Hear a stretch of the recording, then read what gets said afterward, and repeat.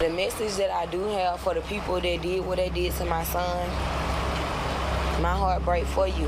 Because when the police find you, your mama gonna cry like I'm crying. He was a happy kid. Like he can light up a room. If you say sunshine, that's Mario. Like he just was like that, like happy, feared nothing, like free spirit. Like if you needed a shoulder to lean on, you could just talk to Mario and he gonna make you laugh. Mario Bailey went to a basketball game on February the 9th, 2024. It was Tri Cities versus Benjamin Banneker. Mario and his friends got into an argument with an opposing group during this game. Mario and others left the game due to the argument. Several people started fighting after the game ended. An unidentified person was stabbed during the melee.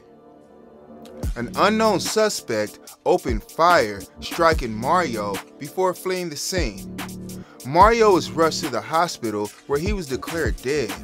The stabbing victim's condition is unknown. The incident was captured on video and posted to social media. It's not clear if the incidents were related. The investigation is ongoing. If you know, seen, or heard who shot Mario, please send me a message. Thanks. What happened to security? Okay? You got these students, they get into it with each other. You got two opposing groups, and you kick the two opposing groups out at the same time because they started arguing like that wouldn't like the like a fight wouldn't spill over into the parking lot if it was some type of disagreement one group should have been let go and the opposing group should have been kept at the game until the other group left the property and left the street out in front of the property and all that okay so y'all should have called 12 when this fight broke out and let them help you out to escort students this way, that way. You can't kick a group of arguing students out because the same thing will happen again. You don't kick out two opposing groups. You don't kick out two or three people that were fighting each other in the game because they're going to fight out in the parking lot. So it doesn't make any sense to do that if you're going to let them do whatever they want in the parking lot, okay? That just doesn't make any sense and it's not smart, okay? So they shouldn't have all been kicked out at the same time, all right? Parents should have been called and say, say what, everybody that's up here, we need some type of guardian or something to come pick you up or something like that. If you if you if you of age, you're gonna be escorted off this property. We got 12 out front. You know, it should have been something like that. Now, this person out there, somebody brought a shank, all right, to a basketball game, a knife, all right, and they cut somebody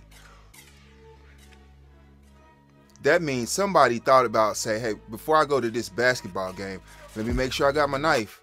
Why would you take a knife to a basketball game? Okay?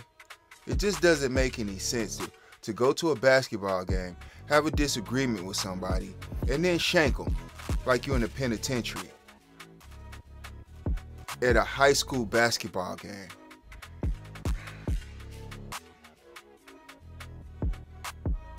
Okay, then during the fight, somebody pulled out a blick and shot Mario during this fight. Okay, so fist wasn't enough. You had to say, I'm gonna blick him. You know, I'm gonna take his life. And it wasn't even that serious, all right? what happened to pulling out the boxing gloves, boxing? Put that on social media. Y'all wanna blick somebody and then put that on social media and then be laughing and hee hawing back and forth, and it's nothing funny, all right?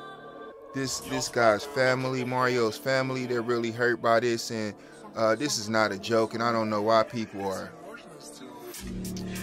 I don't know why people are posting this on social media. Okay, it just doesn't make any sense. All the bragging and all the posting on social media, and all those kids out there, all those young, all those young people out there. Somebody know who was doing some blicking, and somebody know who was doing some shanking.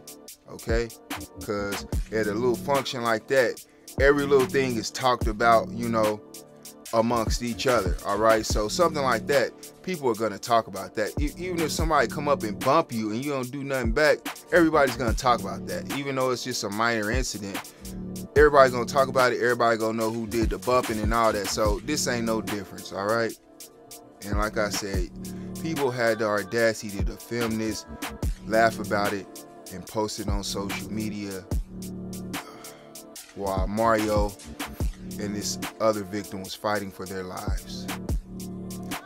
I'm out of here.